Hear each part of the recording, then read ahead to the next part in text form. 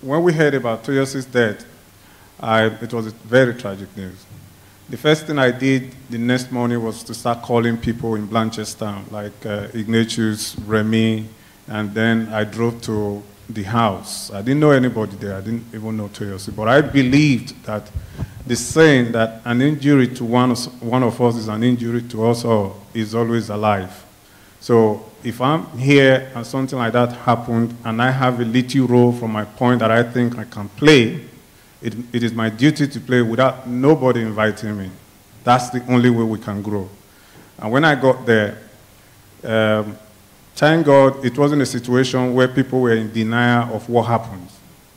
The police had said, the Gardaí had said that it was, there were racist tendencies in the killing, but um, that they were sorry about what happened. And I saw it that way. I looked at what happened and I said, the boy, the man that did this cannot be a reflection of the society.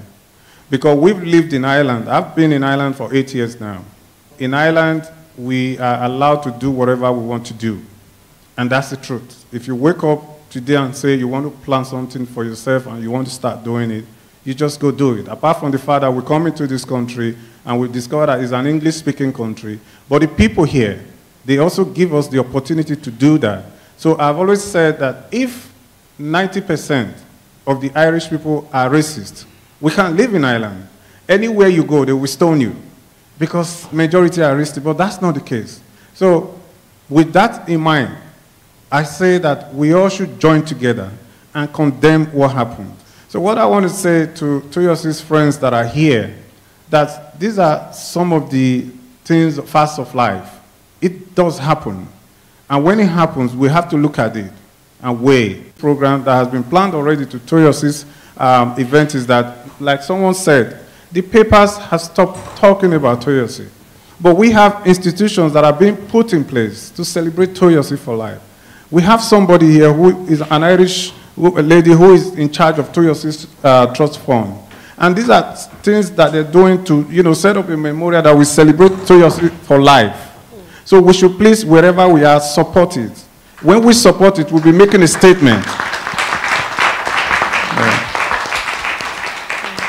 People might say, Eh, but what can I do? I'm only an individual. An individual can make a difference in your own little way. And by the time we start making our eh, differences in our own little way, co combined together, it becomes a collective effort. So um, I want to say that Toyosi, as he is there, will live forever. Because I'm made to understand that in three weeks' time, there's the uh, Football Club will be having a memorial match in his honor. And there are discussions about having an annual every, every Easter Friday, having a football match that we celebrate Toyosi. And if we are here, God please that we are here, Perod Show, we always organize an event like this to celebrate our brother who left us in a very tragic way in his short span of life. So, ladies and gentlemen, please, I want to say again that when the issue of Toyosi is mentioned anywhere, please stand up in your houses and join to like celebrate whatever decision has been reached by the majority of the people. Thank you very much.